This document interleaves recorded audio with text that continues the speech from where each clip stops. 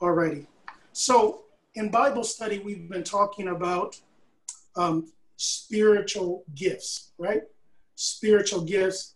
And uh, again, there's more spiritual gifts than those are, that are listed um, in First Corinthians chapter 12, verse 8 through 10.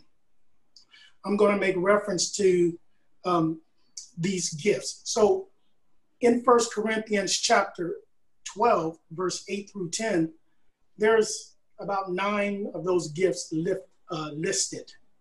So those are broken down or broke, broken out in categories. And I'll give you the categories, three categories, right? So not in any particular order. The first category I'll give you is vocal gifts. So when you read 1 Corinthians 12, 8 through 10, and you see those gifts, want you to start thinking about how they're categorized in three groups. First is vocal gifts. What are those? When he refers to prophecy and interpretation of tongues, vocal gifts. The next is power gifts. Power gifts. What are those? Faith, healing, and working of miracles. Again, power gifts, faith, healing, and working of miracles. And then this is what I'm going to focus on today this grouping or this category, which is mental gifts, mental gifts, which are discernment, wisdom, and knowledge. Discernment, wisdom, and knowledge. So we have those three categories. Vocal gifts covers prophecy and interpretation of tongues. Power gifts covers faith, healing, and working of miracles. And then the third group, not in that particular order, but mental gifts covers discernment, wisdom, and knowledge. And we're going to deal with the mental gifts of what we refer to in 1 Corinthians 12, 8 through 10. The mental gifts. So now let us turn over to, or possibly should be there, in First Kings, we're going to see all three of these, the manifestation of these, of this category or this group called mental gifts, referred to as mental gifts. We're going to see that displayed or revealed in Solomon as he becomes the king of Israel, and we'll see it concerning a situation. So, what am I, what am I referring to? So, when we learn the Bible, when we are exposed to the Bible. Exposure to the Bible and learning God's word is, is for a reason, for a purpose. As we navigate through life, situations will come up, circumstances we will face, and we may not have an idea or a thought on how to handle that situation or how to rectify that situation. And that's where we turn to the Word of God and we rely on the Word of God to lead us and guide us by the Spirit of God. So in 1 Corinthians chapter 12, he talks about the distribution of the gifts by the Spirit. And we'll see that with Solomon. And then hopefully, if time permits, I'll make reference to Jesus. We see that with Jesus. And I'll just go ahead and give you the scripture reference in John chapter 8, John chapter 8, starting in the uh, first, first verses and moving along. So, First Kings, hopefully you had enough time to turn to First Kings chapter 3, as well as uh, make a bookmark there in chapter 4. So, First Kings chapter 3, verse 9, and for the sake of time, I'm just going to reference, uh, I'll read just a few of the scriptures, I won't go through all of them. So First Kings chapter 3 verse 9, what we what's revealed to us here in the Bible is the prayer or the desire. Prayer or desire of this man Solomon. So we made reference uh, in Bible study and maybe even last week. Um, what is the best gift? Paul said there in First Corinthians chapter 12, I believe it's verse 31, the last verse. He says, and covet, and yet I tell you to covet the best gift. What is the best gift? it's, it's the gift that you need at that time. And we're going to see that you know, with Solomon. So here in First Kings chapter 3, verse 9, even before Solomon takes on this, this task, this duty that's been passed, that the baton has been passed to him from his father David, King David, we read how that he goes immediately into prayer before even trying to to to uh, fulfill the office. So I'll read it to you from the King James text. First Kings 3 9. Give for give therefore thy servant an understanding heart for what purpose? To judge thy people or your people, God, that I may discern between good and bad. For who is able to judge this thy so great a people? So notice the humility of Solomon. He's saying, okay, God asked him in previous verses, what do you want from Solomon? He says, give me an understanding heart because I have this task before me. You're asking me to judge your people. I'm going to need an understanding heart and I'm going to need discernment to be able to understand between good and bad. I'm, I'm going to need to tap into the Holy Spirit so he can enlighten me when I have to make a decision in life. For he says, For who is able to judge this thy so great a people? So even before a, even before a situation comes up, Solomon is looking ahead. He's insightful. He's looking ahead. And, and we have to be like that just in case, because we've all lived life or we are living life and things come up, things happen. And it's so much better when we're prayed up, as, it, as the saying goes, being prayed up and, and ready for before we encounter it. So Solomon was looking ahead. So now let's go down to verse 12. And you can go back. I encourage you to go back and just read the whole chapter for the sake of time, uh, time allotted. I'm just going to hit some of the verses, but I encourage you to go back and read the whole thing. Verse 12 of that chapter. Behold, now this is the answer to prayer. You want God to answer your prayer. We want God to answer our prayer. Let our prayers be unselfish. Let our prayers be in alignment with the will of God. Notice here in verse 12, God answered, Behold, I have done according to thy words.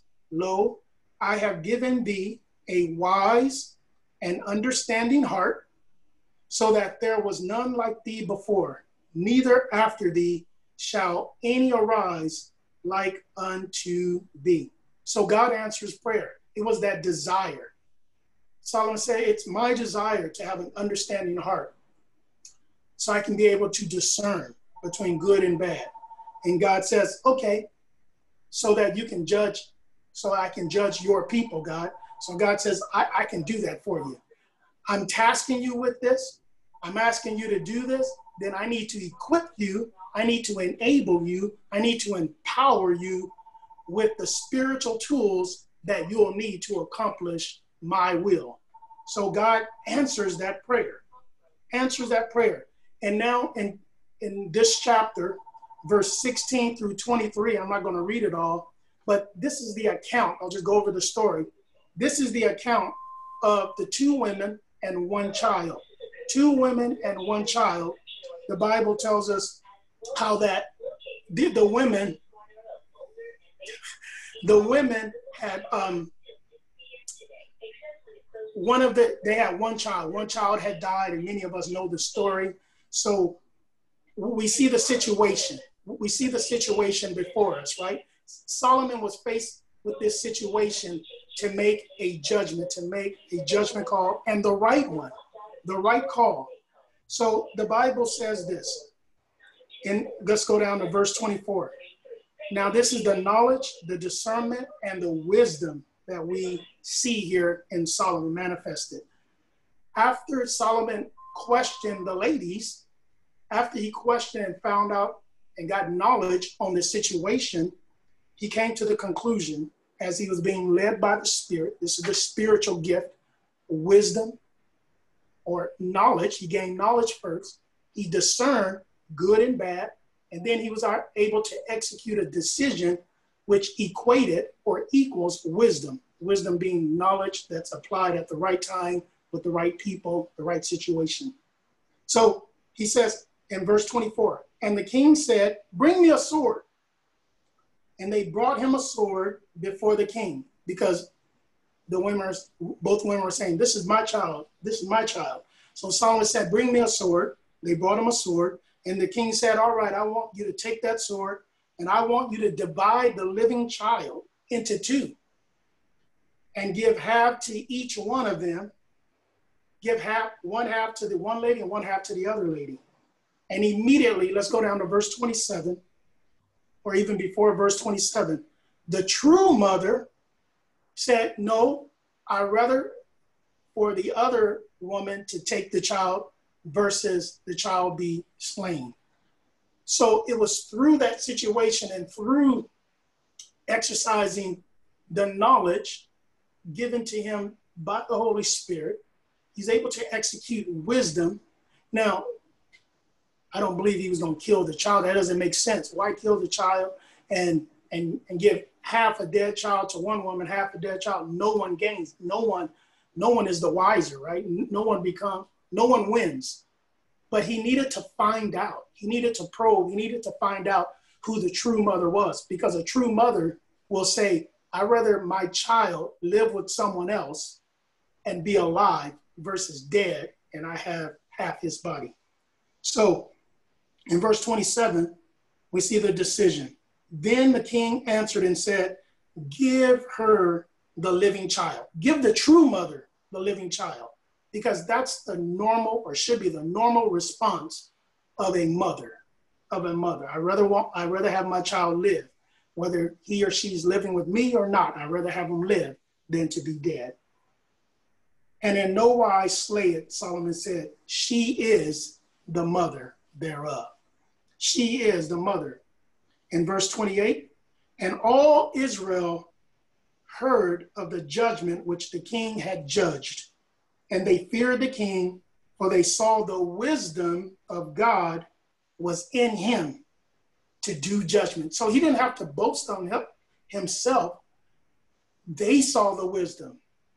They saw the wisdom as a result of how he handled this particular situation. So again, we see the mental gifts at work there, that category, that group. Knowledge, he gained knowledge, he asked questions, he discerned what is a true mother. And this is all as the Holy Spirit's enlightening him and helping him, because remember, he prayed for this. So he gained knowledge. As a result of that knowledge, he's able to discern good and bad, the good mother, the bad mother, uh, the good woman, the bad woman. And then he was able to make a decision or execute wisdom, wisdom based on the knowledge. So we, we see the results in First Kings chapter 4, 1 Kings chapter 4, verse 29 of his wisdom. He would say, oh, Solomon was the most was the wisest man. Well, why was that? A lot of times we hear these within the church community, religious community. We hear these statements, but we don't get any follow up. Why was he considered the wisest man in the land? Well, God said it, but why did God say it? So now we have the reference in 1 Kings chapter 3. But here in 1 Kings chapter 4, verse 29, the Bible reads, King James again, and God gave Solomon wisdom and understanding exceeding much and largeness of heart even as the sand is on the seashore. Verse 30. And Solomon's wisdom excelled the wisdom of all the children of the east country and all the wisdom of Egypt. For, verse 31, for he was wiser than all men. He was wiser than all men. But it was a result of chapter 3, verse 9, his prayer. It wasn't personal exaltation, it was what God was doing through him. it, it was what that those gifts, that category of gifts, mental gifts, knowledge, discernment, and wisdom. They were executed. Solomon was the vessel. The situation arose, and God was able to use him for the greater glory of God and an evangelistic atmosphere. Because now all the earth had heard then known earth, then known world, as they call it, heard of his wisdom, and he was wiser than all men.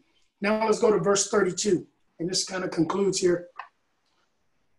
Verse uh, 32, chapter 4, verse 32. And these are some of the results of Solomon. And he spake 3,000 proverbs. So this is how we get the book of Proverbs, right? It just didn't happen.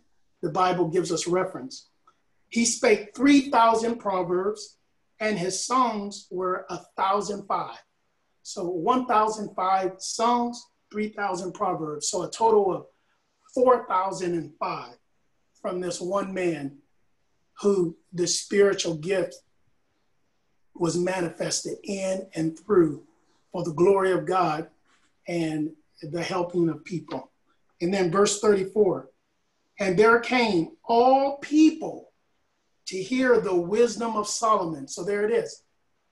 Because the spiritual gift was distributed to this man Solomon, who was a usable vessel, as a result, and this is this is where we want to be, right? This is where we want to get. Because Jesus said, if I be lifted up, I will draw all men.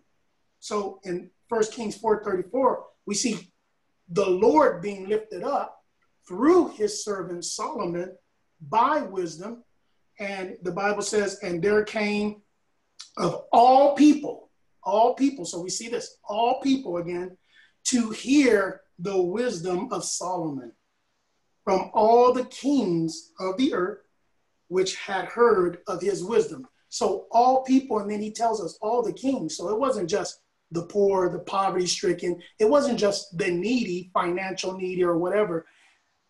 All people came. Again, God cares about all people, all categories of life, all status of life.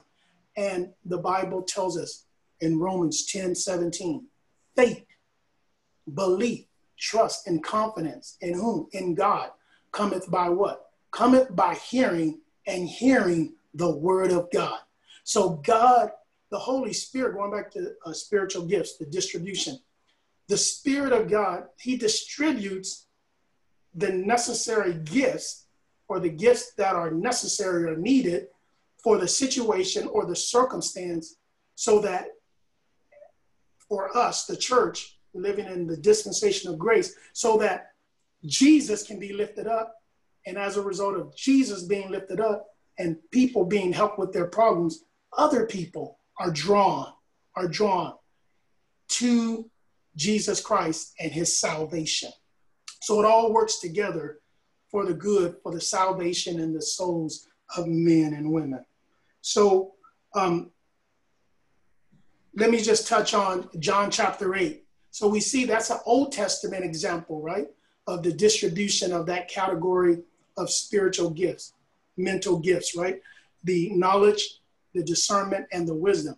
Now if we go to John chapter 8, and I'm not going to read any, I'm just going to tell you the, the account and the story this is the account where many of us are familiar with, where the woman was caught in adultery and they came to Jesus. And they said, according to the law, the Mosaic law, she should be stoned. And there's many sermons preached on this, and there's many things uh, said about this. But we also see, as we refer to it as the spiritual gifts being manifested.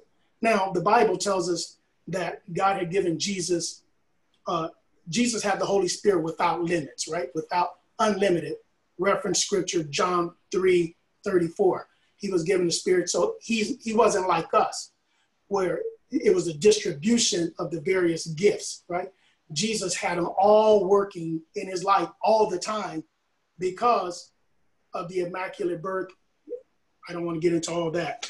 So in John chapter 8, they came to Jesus, so he had knowledge of the situation.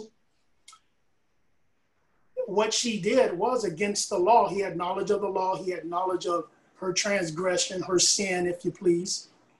But what did Jesus do? He, he, he didn't answer them. He wrote on the ground. He had knowledge. He began to discern, right? He makes the statement, he who is without sin, because he knew one of them were also the guilty party, or if not the actual physical guilty party, they were watching or something, but he discerned. And he made the statement, he who's without sin, let him cast the first stone. So he didn't deny the Bible because he gave it to Moses, right? So he says, but okay, go ahead and execute what the law says if you are without sin, if your conscience is clean. So he used discernment and discernment, and then he spoke in wisdom, right? And we know the results. They all left from the eldest to the youngest. They all departed, and it was Jesus and the woman was there by herself. And we know the rest of the story. Jesus says, uh, I forgive you your sins, go and sin no more. The point I'm making here in this particular case is that we see the spiritual, all that category, mental gifts operating there knowledge, discernment, and then wisdom. So with Solomon, with Jesus, and there's many other accounts. And this is for me, whenever we talk about something in the Bible, you can always find a, a reference or an account in the Bible to support the Bible.